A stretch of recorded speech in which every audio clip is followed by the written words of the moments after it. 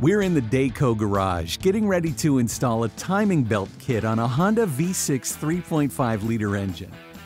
This is by far our most requested kit, so we want to provide a quick tutorial on installation.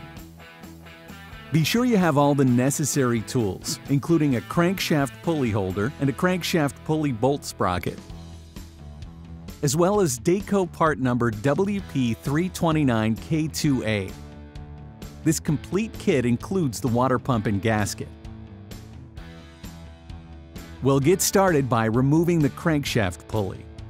Hold the pulley with the holder handle and the pulley holder. Remove the bolt, then pull off the crankshaft pulley. Take off both the front and rear upper covers. Then remove the lower cover, followed by the engine mount. For this next step, you'll need a 6mm by 100mm bolt. Thread the bolt in to hold the timing belt adjuster in its current position and hand tighten only. Do not use a wrench. Reinstall the crank bolt and align the timing marks.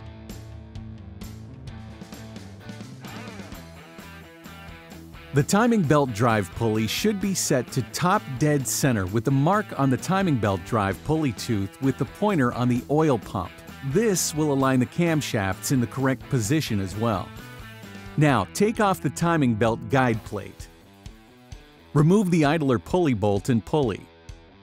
We recommend recycling any old bolts and starting with a fresh set during installation.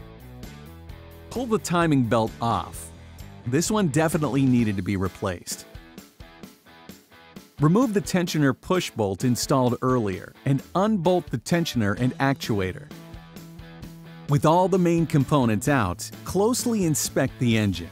It is important to note that there are a few Honda and Acura engines with a noise-related technical service bulletin. In those situations, you'd hear a chirp coming from the lower timing belt area. The noise is most prominent at idle, usually after the engine has warmed up.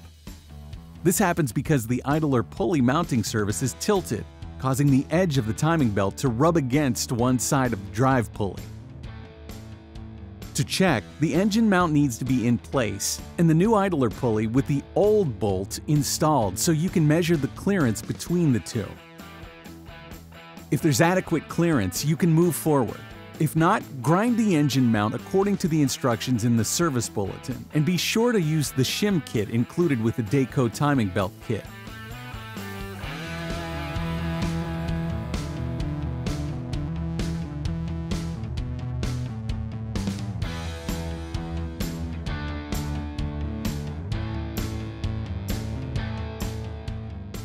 Now back to the job. Clean the timing belt guide plate and the upper and lower covers. To be safe, confirm alignment again, ensuring the number one piston is set at top dead center on the crankshaft. Then check that camshaft alignment is still correct by confirming the marks on the pulleys align with the casting lines in the head. Remove the old water pump and install the new one with the gasket from the kit, torquing the bolts to 9 foot-pounds.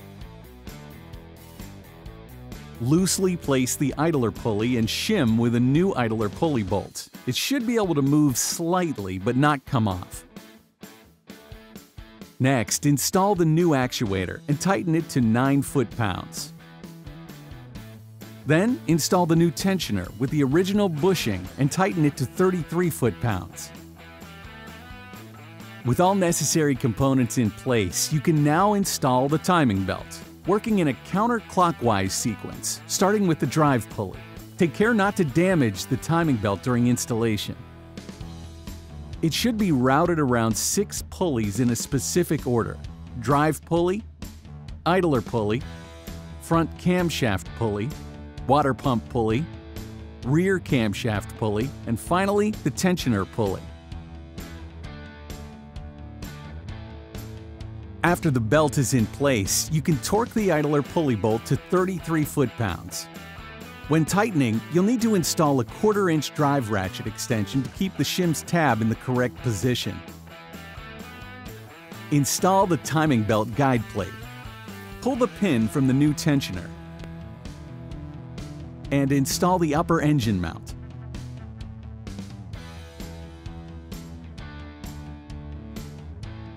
Put the lower cover back on and tighten its bolts to 9 foot-pounds.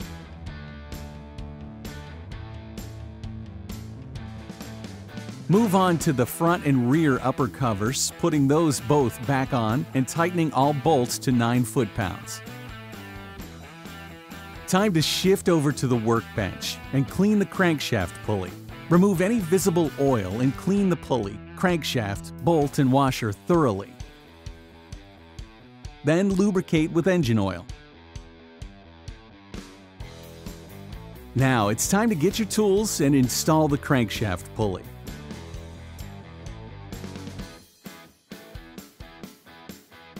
Hold the pulley with the pulley holder and tighten the crankshaft bolt to 48 foot-pounds with a torque wrench and a heavy-duty 19mm socket. Do not use an impact wrench for this. You're not quite done. The bolt on the pulley needs to be turned an additional 60 degrees, then it's all set.